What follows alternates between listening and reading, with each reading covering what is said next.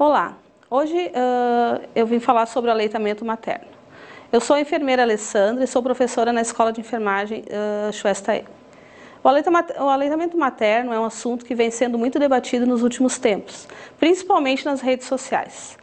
Há também uma falsa notícia sendo divulgada amplamente que foi proposto no Congresso Nacional a proibição da amamentação em público. Mas, na verdade, a lei brasileira diz exatamente o contrário. Amamentar em público é permitido em todo o país. Além disso, várias cidades criaram leis que multam quem proibir a mãe de amamentar seu filho. A verdade é que, quando se trata de aleitamento materno, o que mais ouvimos são mitos e inverdades. Um dos mitos que, se o bebê mama muito, é porque o leite materno é fraco e não satisfaz.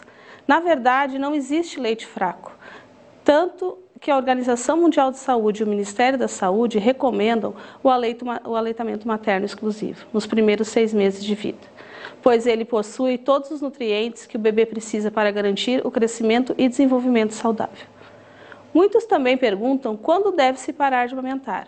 Após seis meses de idade, é indicado oferecer o leite materno junto com outros alimentos, mas só se para de amamentar totalmente quando deixar de ser prazeroso para a mãe e para a criança. O aleitamento materno é importantíssimo para que a mãe e o bebê. Para se ter uma ideia, na mãe é, atua prevenindo contra cânceres de mama e de ovário, proteger contra a osteoporose, além de ajudar o corpo da mulher a se recuperar mais rápido da gestação e reduz o risco de anemia e hemorragia pós-parto. Já para o bebê, o leite materno desenvolve o sistema imunológico, diminuindo os riscos de desenvolver doenças respiratórias, alergias, hipertensão arterial, diabetes, colesterol alto e obesidade.